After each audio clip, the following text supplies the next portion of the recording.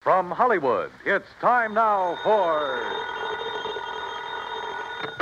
Johnny Dollar. This is Peter Hardy at Tri-Western Property and Casualty Insurance. Hi, how are things in the Golden West? You still in Reno? Sure I am. Good boy. What goes, Pete? A little trouble with a big dairy farm out here, Johnny. Amenian Dairies. Okay, Pete, tell me all. A year and a half ago in a fire, Amenian lost one of his silos. You know, one of those big towers where they store and cure a lot of chopped up corn and stuff. Yeah, yeah, I know. Cost us $21,000. Twenty-one thousand for a silo? This time it's a compound silo, and the claim is for $56,000. Holy. But I don't want to pay it. I don't blame you. Sure, because, Johnny, I think it was arson.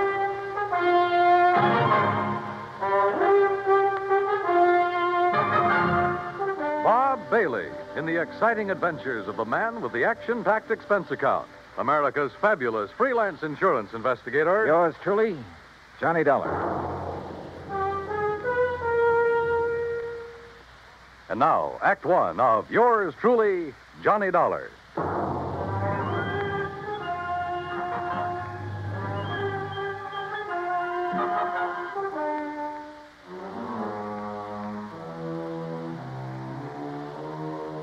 Expense account submitted by Special Investigator Johnny Dollar to the Tri Western Property and Casualty Insurance Company, Reno, Nevada office.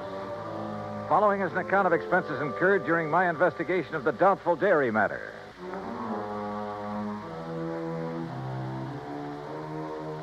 Expense account item one, 14120. Transportation and incidentals, Hartford to Reno, Nevada. It was about 9 a.m. when I arrived, so I checked into the Mapes Hotel, then walked over to Pete Hardy's office. Amenian Dairies is just north of here, Johnny, in Warm Springs Valley off Route 33. Well, then I'd better rent me a car. Or you can use mine. Now, now, Pete, how can I run up my expense account unless I have something to run it up with? Johnny, for once. Uh-uh. Anyhow, the reason why these silos Amenian has are so expensive. Is that the owner's name, by the way? Yes, Aram Amenian. And I take it he's Armenian. Strangely enough, no. Now, he's had all his silos very specially built. Oh, how specially can you build a silo? Just a concrete base, a lot of long wooden staves to get the circular shape, and a good roof on top. Well, he has some trick with them inside. Like what? That's his deep, dark secret. But he claims it makes better silage for his cattle than is possible anywhere else in the world. And one of these things burned up a year and a half ago. The word exploded best describes it. Yeah. And as I said, cost us twenty-one thousand. And now the replacement has gone up in flames. Yes, day before yesterday. He filed the claim the same day. Well, why do you suspect arson?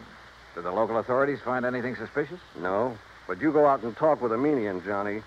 And if you don't end up with the same kind of feeling I have, well, I'll leave my shirt. Expense account item two, $50. Deposit on a drive your own car.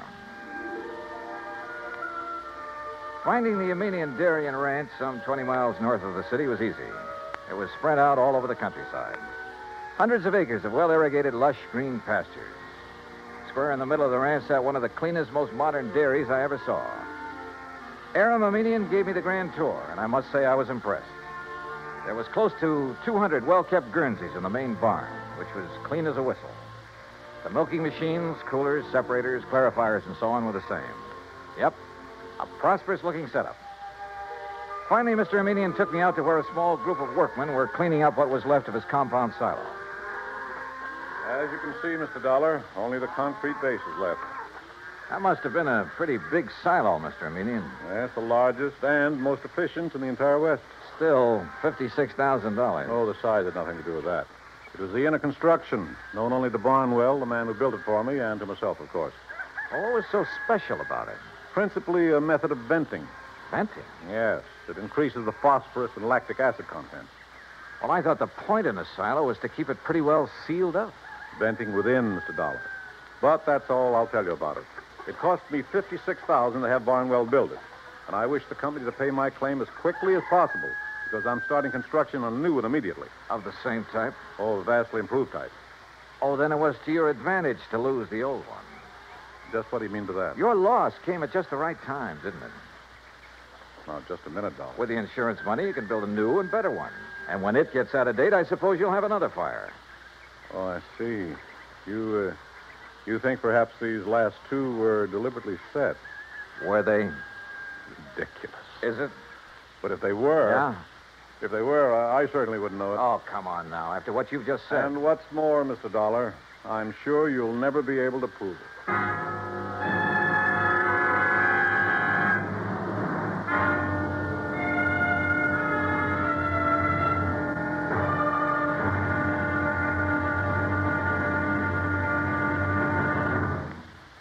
Act two of yours truly, Johnny Dollar, in a moment. We sometimes wonder what is the life of a human being really worth? Not too much? Or maybe a great deal? Does it depend on whose life it is? Whatever the answer, one thing is certain. Fred Hargesheimer, since World War II, has felt that his life is worth quite a lot. Quite a lot of gratitude. During the war in the Pacific, about June of 1943, Lieutenant Hargesheimer had his P 38 fighter plane shot out of the sky. Badly wounded, he bailed out over a tiny island, New Britain. It looked pretty small from where he hit the silk, but he found it much bigger when he hit the ground. It was bigger, and in complete control of the enemy. But Hargesheimer was lucky. After a month of lonely hiding, he was found by a group of friendly natives from the village of Nantambu.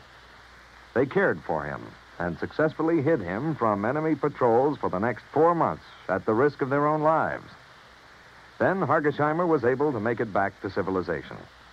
For the next 17 years, Fred Hargesheimer thought about those wonderful people of Nantambu.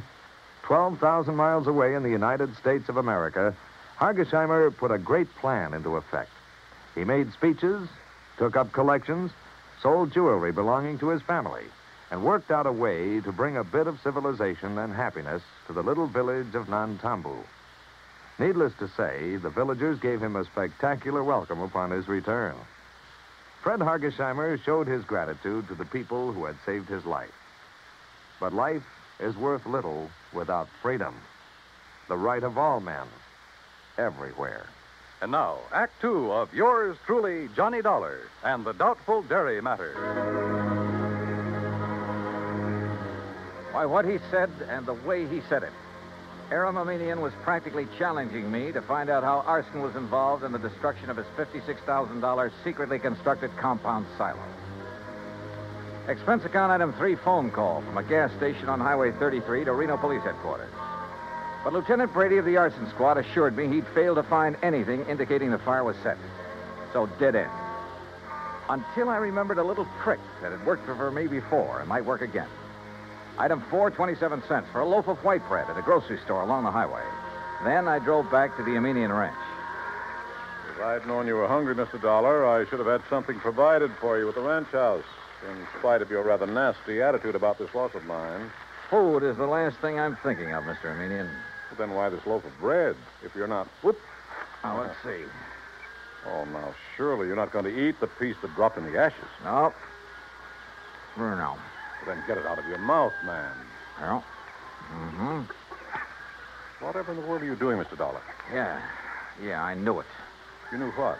A sure, a sure test for kerosene, Mr. Armenian. What? Yeah, fresh bread dropped in the ashes of a fire even days after the fire is out. I don't understand. I can still taste the kerosene. And, mister, it makes things look pretty bad for you. Me? Oh, good heavens, man, you can't.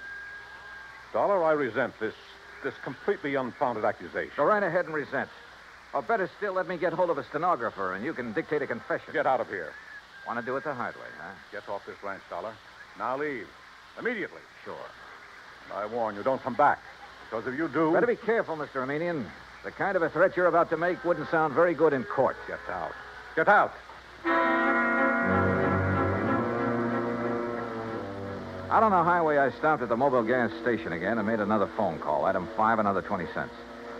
It was to my old friend Herb Carlbert, cashier of Reno's Farm Trade National Bank. It was past closing time, but he promised to leave a door open for me. So I grabbed a sandwich and a Coke along the way. That's item six, 80 cents, including tip. Then at the bank, Herb led me back to his private office. Well, sit down, Johnny. Tell me all about yourself. Yeah, later, Herb. We'll go out on the town and talk our heads off. Right now, I need some information. I hope you can tell me where to get it. Oh? Information about what? The Armenian Dairy, or better still, Armenian himself. You know him? Oh, I certainly do. We're his bank.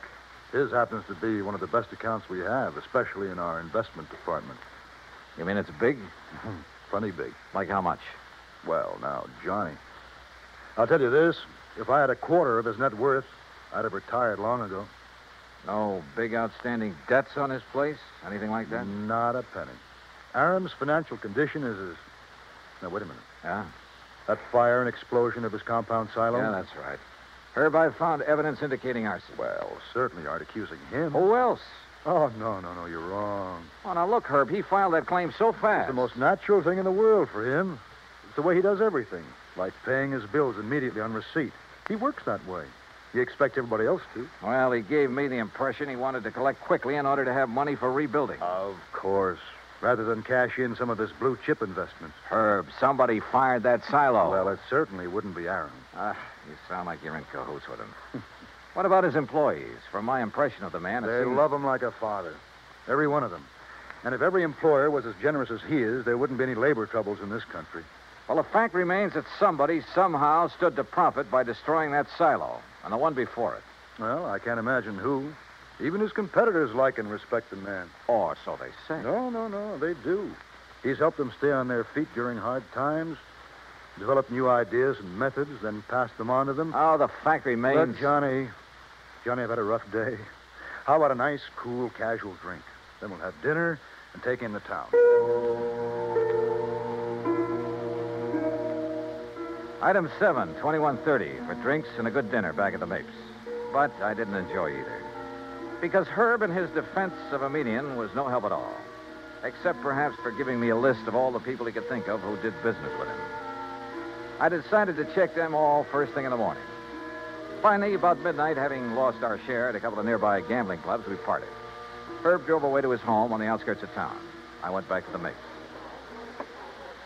Uh, take Mr. and Mrs. Kenworthy to room 314, boy. Just... Yes, sir. What can... Oh, Mr. Dollar. Uh, oh, just my key, please. Certainly, sir. Here you are, sir. And I hope you enjoy a pleasant night's rest. Thanks. Oh, by the way, there was a gentleman here looking for you early this evening. Uh, hung around quite a while. Said he'd be back. Well, who was he? He didn't give his name, sir, nor did he wish to leave a message. Mr. Armenian? Mr. Armenian the dairyman? Oh, no, sir. I'm quite sure. Okay, thanks. Yes, sir. Good night. Good night, sir. Oh, Mr. Dollar. Yeah? There he is. There. Huh? Going out the door, the dark brown coat. You're sure? Yes, sir. The same man. I wonder. Yeah, so do I. But, but if he knows you, sir, and saw you, sir. By the time I got out the front door, the man in the brown coat was halfway down the block and walking fast. Faster and faster, as a matter of fact, as I gained on him. He turned the corner, and by this time, both of us were running. Hey! Hey! Were you looking for me? By the end of three or four blocks, it was a real foot race. Then suddenly he turned into an alley, and like a darn fool, I plunged into the darkness of it after him. Hey! Hey! Right here. Oh, no, you.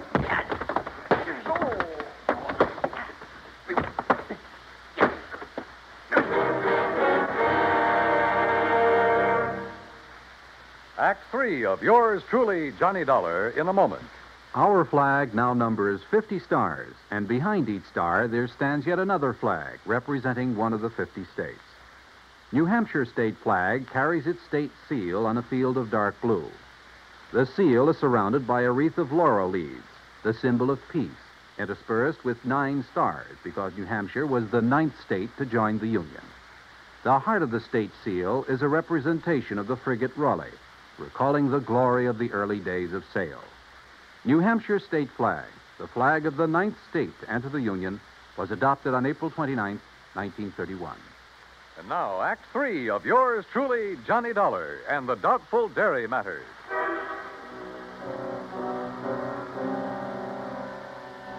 If it hadn't been for a big interstate moving van that drove into the alley where I'd been waylaid, well, I have a strong hunch I wasn't supposed to have lived through that beating. The truck driver, who absolutely refused a tip, incidentally, half walked, half carried me back to the Mapes. And the desk clerk had a doctor in my room within a few minutes. A terrible thing. Terrible thing, Mr. Dollar. You're being attacked like this.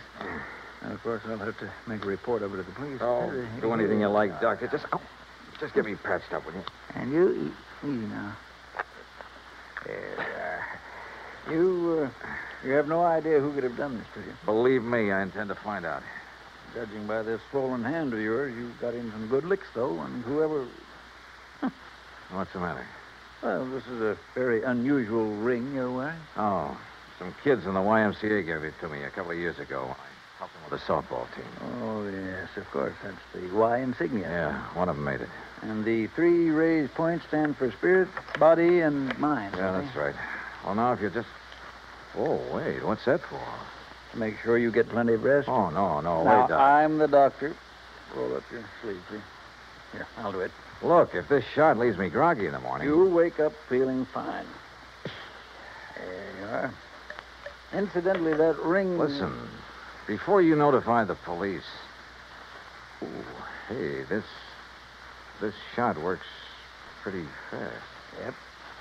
As I started to say, Doc, if that ring of yours didn't leave a mark on whomever you defended yourself against uh, out there in the alley, I'll be very much surprised. in a few seconds, I was out like a light. But then a whole set of weird dreams began to plague my somewhat battered mind. And questions about who would attack me and why. Only the why was only too obvious to keep me from finding an arsonist who, yeah, yeah, who probably bore the mark of my ring on his kisser.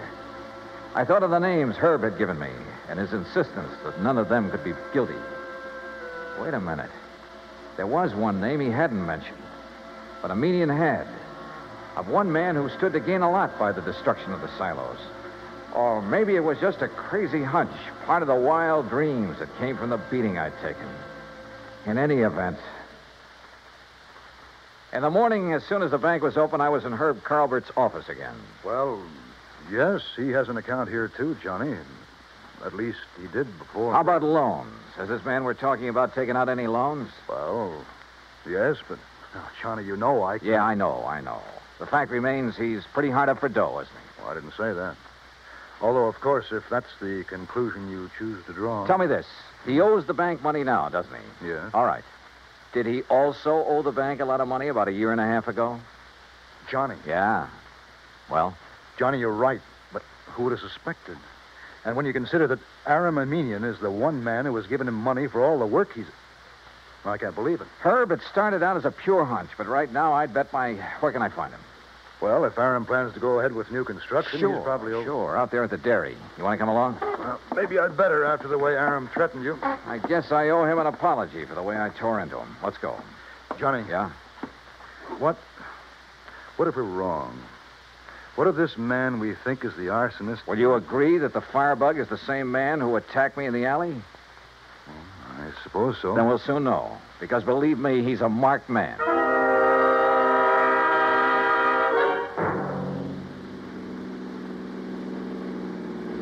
We made the Armenian dairy in 30 minutes flat, and we're told at the gate that Aram Armenian was in the pasteurizing plant.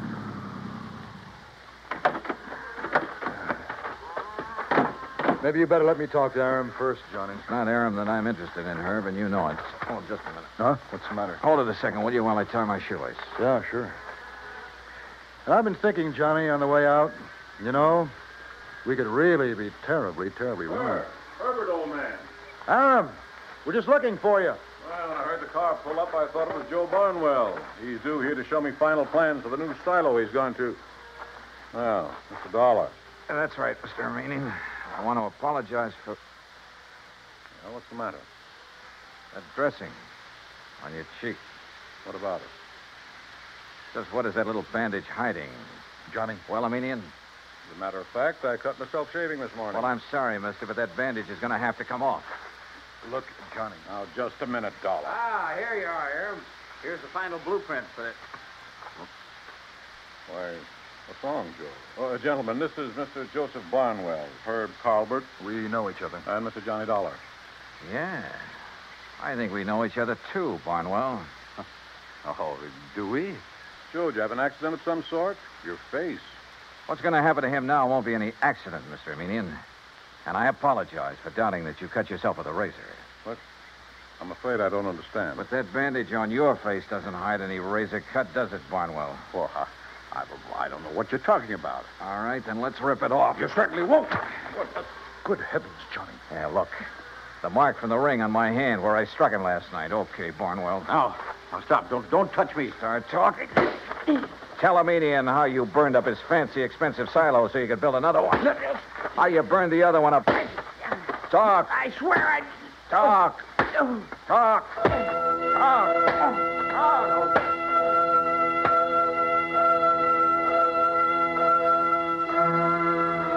Yeah, he talked all right, plenty. About a racket so old I hadn't heard of it in years. The crooked builder who burned out his own clients to get himself more work. And in this case, a natural, because he was the only one who shared Aram's secret construction plans. And by the time I was through with him, he blabbed about some of the other clients he'd taken the same way. Expense account total, including incidentals and the trip back to Hartford, $418 even. Yours truly, Johnny Dollar.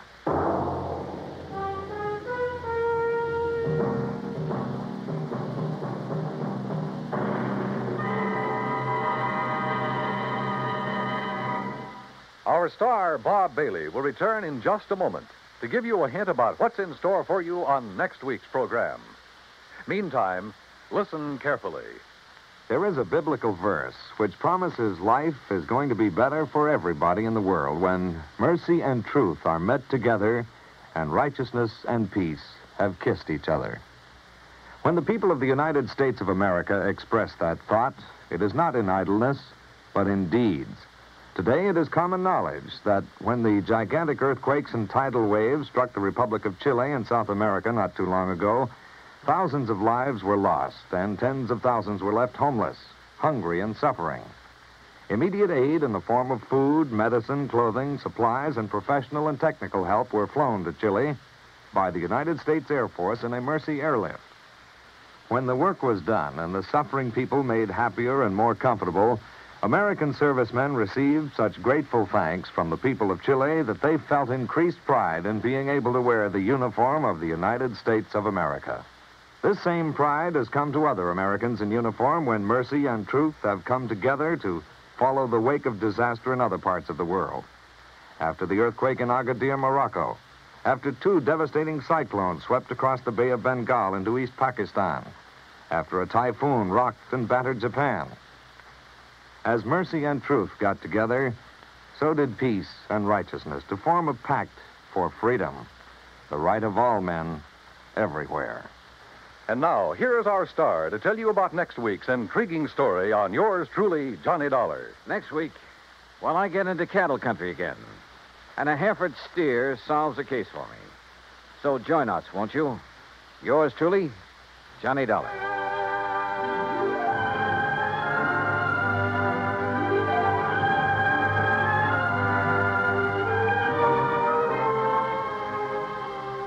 Truly, Johnny Dollar, starring Bob Bailey, originates in Hollywood.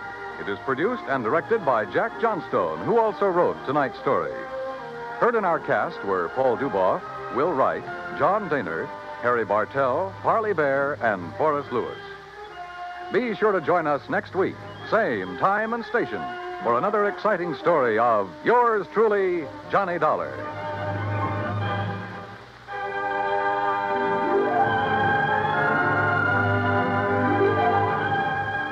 This is Dan Cubberly speaking.